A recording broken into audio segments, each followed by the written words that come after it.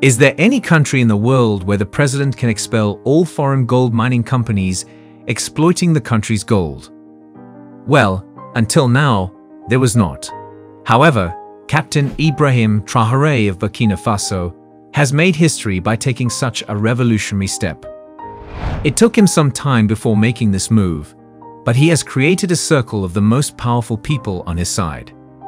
Captain Ibrahim Traoré has suspended all foreign mining licenses, including those held by Russian companies. So what led to this decision? It appears that he discovered covert activities being carried out by foreign companies in Burkina Faso. This compelled him to cancel their licenses. The question now is, what does he plan to do with the thousands of tons of gold that will remain within Burkina Faso? Upon assuming power, Captain Ibrahim Traoré was astonished that Burkina Faso, despite having significant gold reserves, remained one of the world's poorest nations. He realized that France, Burkina Faso's former colonial power, played a role in obstructing the development of an independent gold mining industry in the country.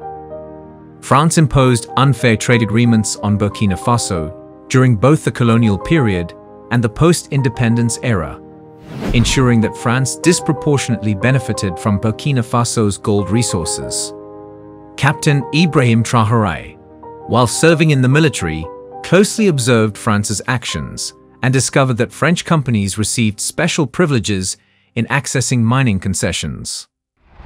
Additionally, the pricing arrangements for Burkina Faso's gold exports were unfavorable.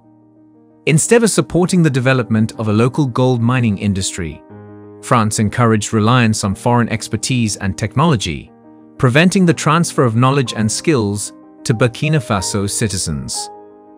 This hindered the country's ability to develop its own expertise in gold mining, leading to dependence on foreign actors. Captain Ibrahim Traoré recognized France's detrimental policies in the Sahel region and made it his mission to free Burkina Faso from this trap. However, he understood that France held excessive political influence over Burkina Faso's government in the past, ensuring that policies favored French interests in the mining sector. This involved lobbying against policies that promoted local control over gold resources and using the government to grant favorable terms to French companies. To break Burkina Faso free from this systemic trap, Ibrahim Traoré decided to consolidate his powers and address the issue of the CFA franc, the common currency used by several West African countries. The CFA franc had been siphoning off Burkina Faso's wealth from the gold industry. The fixed exchange rate of the CFA franc to the euro was artificially high, diminishing Burkina Faso's export competitiveness. This discouraged investment and limited potential revenue from gold exports. Essentially, France could import a significant amount of Burkina Faso's gold by artificially strengthening the CFA franc and then devaluing it after the purchase. This way, France paid less than the original price for the gold. It became evident that France's involvement in Burkina Faso's gold mining industry primarily aimed to exploit the country's resources for its own benefit, with little regard for Burkina Faso's development.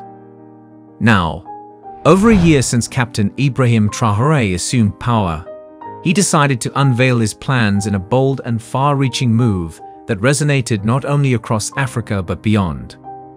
Burkina Faso's leader, Captain Ibrahim Traoré, made a powerful declaration to expel all foreign mining companies operating within the country.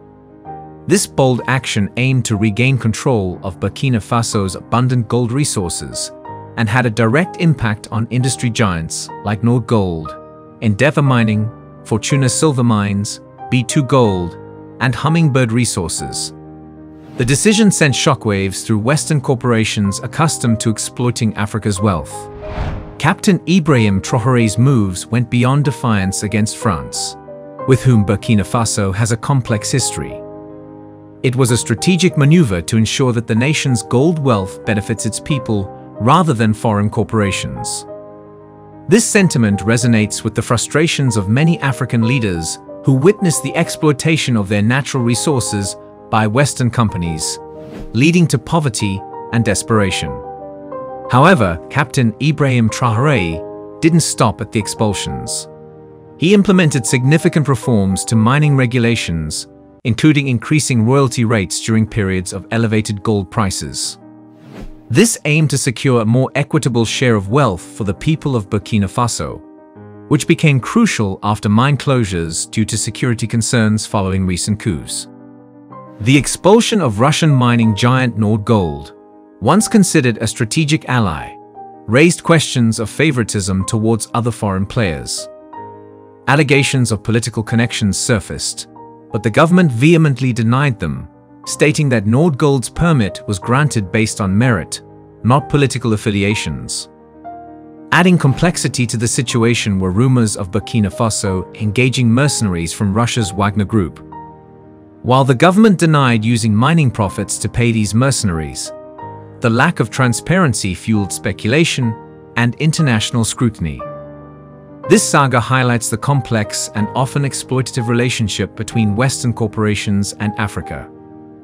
For decades, Western companies have profited significantly from Africa's resources, leaving many nations trapped in cycles of poverty and dependence. Captain Ibrahim Traoré's actions represent a growing movement among African leaders, demanding a fairer share of their own wealth and challenging the narrative that African nations are merely sources of cheap resources. Beyond economic implications, Captain Ibrahim Traoré's decision symbolizes a fight for sovereignty. He challenges the Western narrative that portrays African nations as sources of cheap resources and asserts their right to self-determination. His bold move may inspire other African countries to follow suit and assert control over their destinies. Ibrahim Traoré's actions have ushered in a new era for Burkina Faso. It will be a challenging journey, but his unwavering dedication to resource nationalism and national sovereignty has ignited hope throughout Africa. This story goes beyond gold.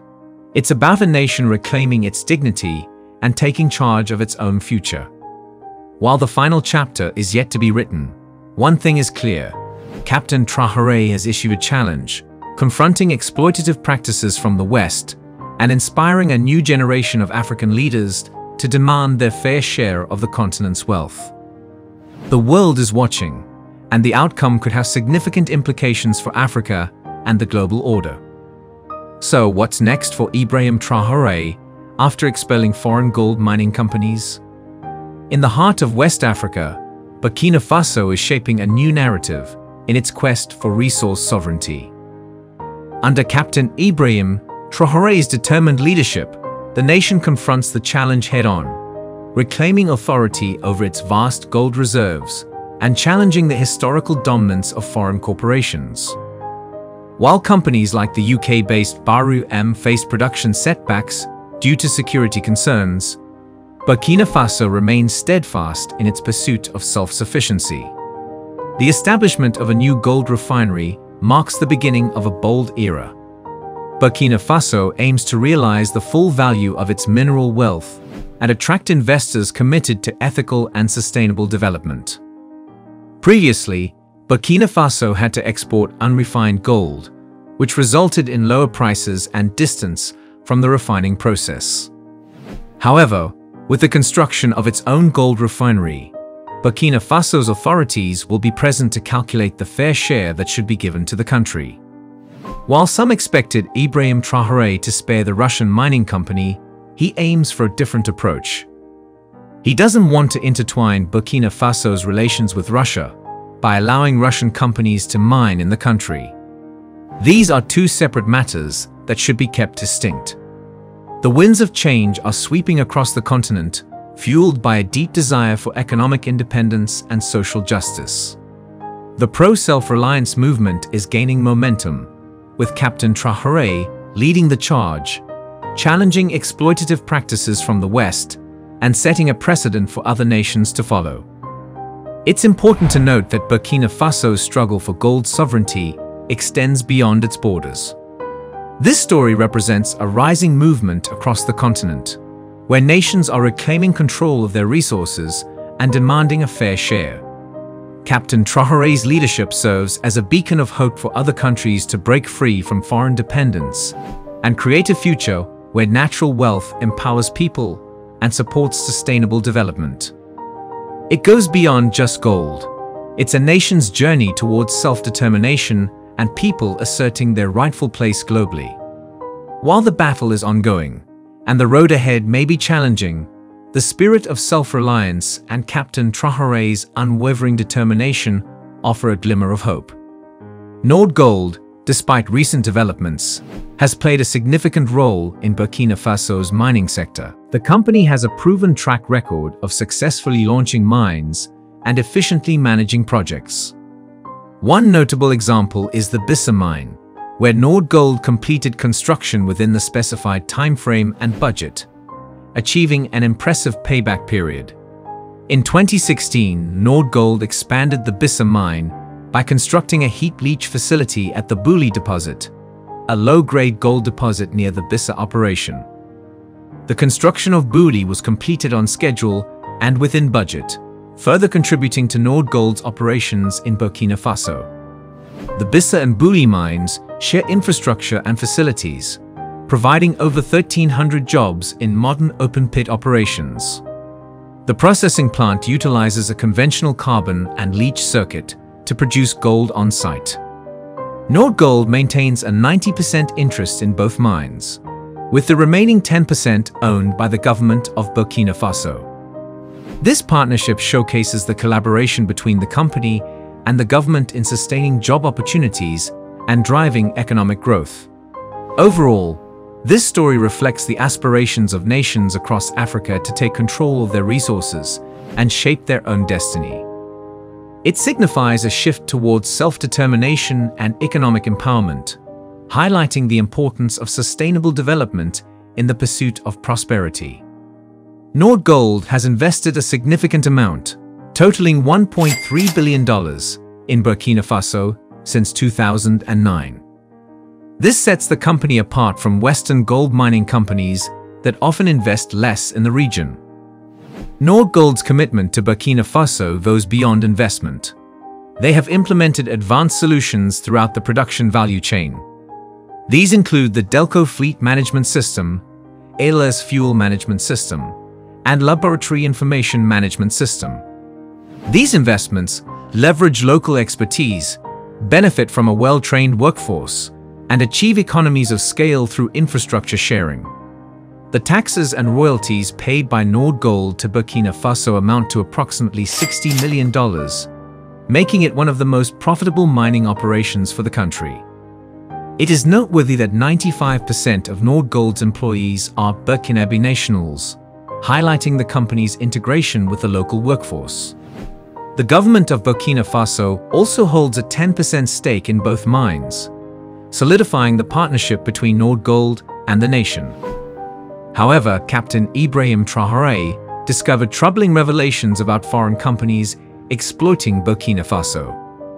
Startlingly, it was revealed that citizens, already grappling with poverty, were allegedly deprived of $16.5 million in gold mining royalties. This substantial sum, crucial for supporting public services, is claimed to have been forfeited due to a special low-tax agreement made with Nord Gold during the rule of the former dictator. This staggering amount far exceeds the meager $1 million allocated by the country for nationwide school supplies this year. Nord Gold, owned by Russian billionaire Alexei Mordashov, who has an estimated fortune of $19 billion, is alleged to be the beneficiary of this favorable tax deal. Unfortunately, this is not an isolated case. Concerns about the government's insufficient benefit from gold production prompted an increase in royalty rates in 2010. However, Nordgold's mine was allegedly exempt from these new royalty rates due to a contentious agreement made 15 years prior. A contract from 1995 revealed that the previous owner, Canada's High River Gold, secured a deal fixing the royalty rate at 3% for the entire mine life during Blaise Compaoré's regime. Calculations based on Burkina Faso's Ministry of Mines gold production data suggest that Nord Gold saves $16.5 million due to this low tax guarantee known as a fiscal stability clause. These agreements, initially introduced to attract foreign companies concerned about uncertain fiscal and political environments, have become controversial. They seemingly hinder any future changes to a country's legislation.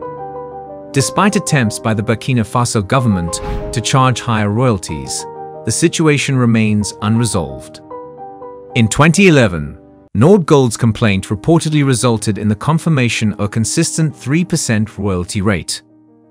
According to Nordgold's own disclosures and annual reports, this rate led to a saving of $16.5 million, thanks to soaring gold prices exceeding $1,000 per ounce. This revelation shed light on the illicit practices of foreign gold mining companies in Burkina Faso, with Captain Ibrahim Traoré patiently waiting for their licenses to expire. Now, the time has come for license renewals, and Captain Ibrahim Traoré, wielding his absolute power, has chosen not to issue new licenses until agreements are negotiated.